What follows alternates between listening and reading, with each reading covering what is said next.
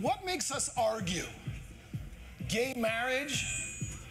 That makes me argue. National debt? Man, don't get me started. War? Taxes? I never argue about my smartphone. I never argue about which dishwasher should be designed next.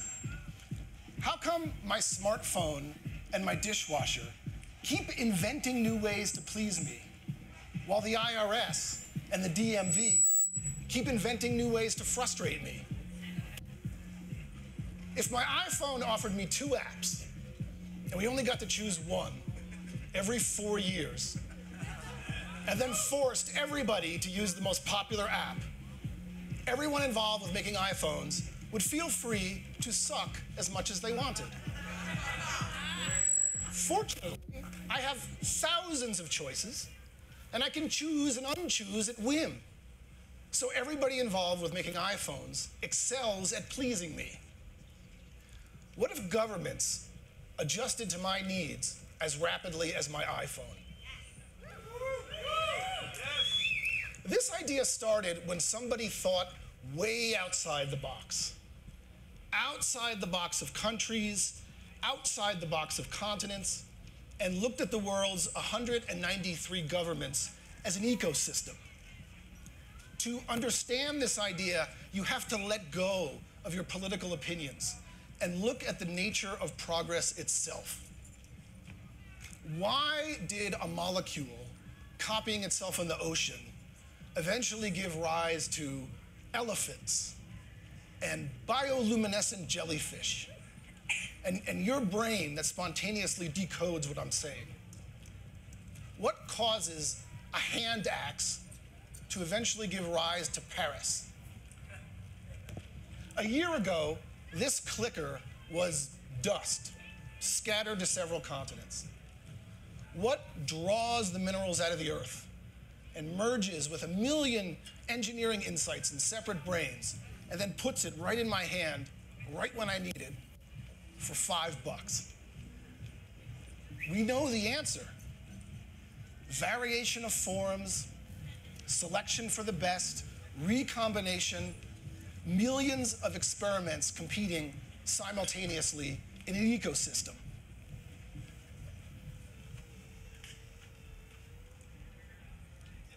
Governments can't evolve to please us because they don't compete to please us. We can't click our mouse and choose a competing government. We don't have the freedom to choose.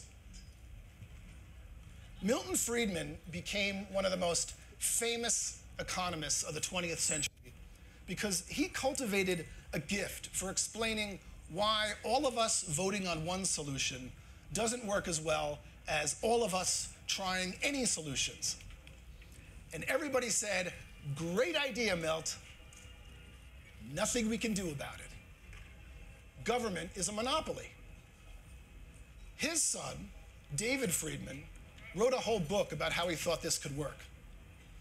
And he threw out a famously whimsical proposal that Burners might recognize. He said, Imagine if citizens lived in house trailers, say on an open, flat, featureless desert. Every time a bad leader did something people didn't like, they could just drive to a competing government. Imagine if governments had to compete to keep citizens, like Apple competes to keep customers. An economist said, Friedmans are fantasizing about trailer parks now. Man, those guys are desperate for solutions. Well, there's something in the Friedman genes because his son, Patri Friedman, was hanging out at Burning Man one day, feeling really thirsty, and he said, You know, humans already live on the ocean. The cruise ship industry makes billions. If millions of families lived in modular, detachable houseboats, and communities could only form if people chose to attach to each other. They could leave whenever they wanted. They could form a new community whenever they wanted. We'd have a primal soup.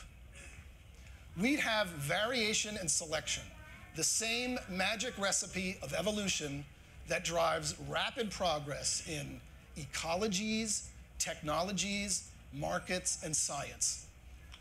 We'd experience what Patri called a Cambrian explosion of governments.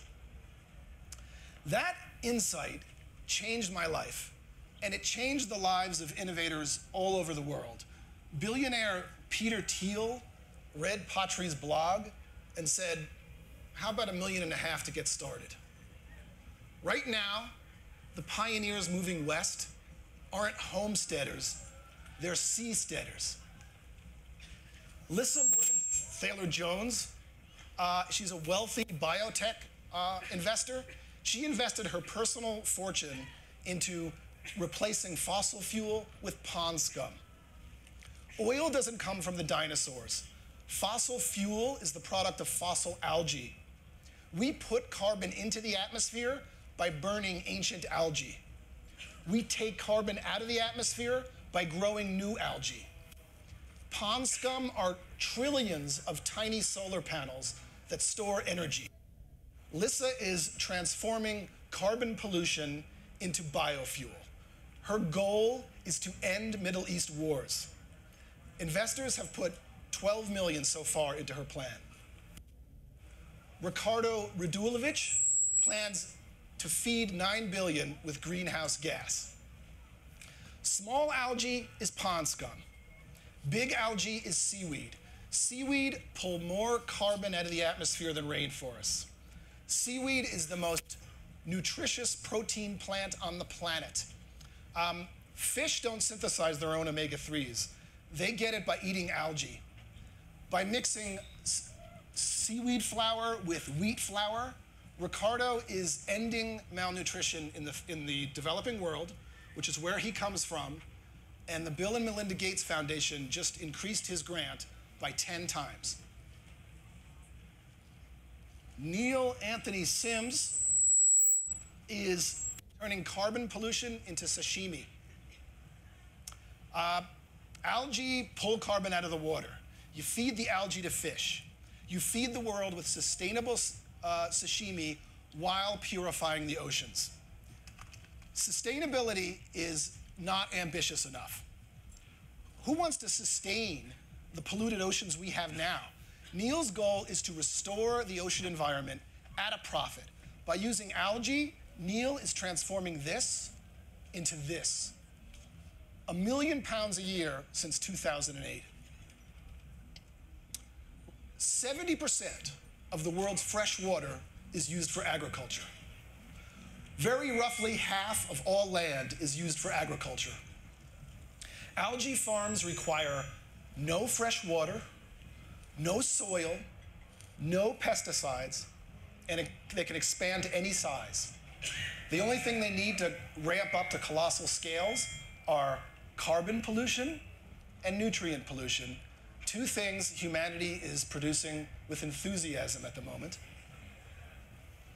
Corn and cow farms produce unhealthy food and pollute the oceans.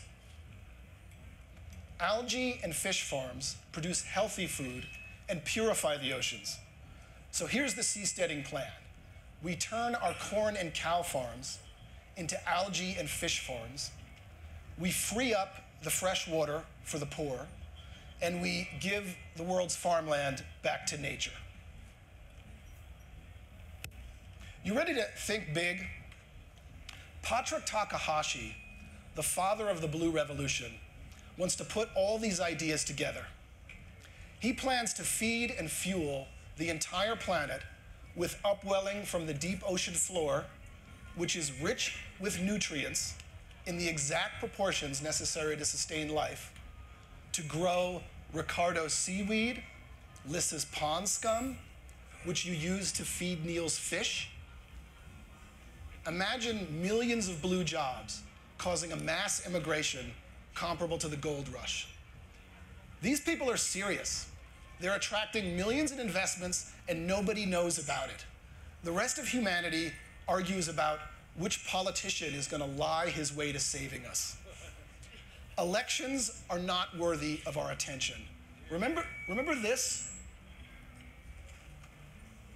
And this, we need to stop paying attention to this and start paying attention to this. Because this plans to feed the world, restore the environment, and provoke a healthcare revolution. Burners don't even know that they inspired this. Pat- Patri Friedman conceived his idea when he imagined 10,000 Burning Mans on the water. We found a little figurative island out here in the barren desert where we proved the impossible works. We proved gift economies can work. We proved that Burning Man freaks can rebuild thousands of homes in Katrina and Peru and rebuild a Vietnamese temple for free. Now we need to get out from under the default world, get out on the water, experiment with more communities, and prove more impossible things are real. If you want to save the planet, feed the poor, reverse global warming, cure cancer, Google seasteading. Seasteading. That's where solutions are coming from, and that's where your creativity will flourish and change the world. The future belongs to the freaks, and I'll see you on the blue frontier.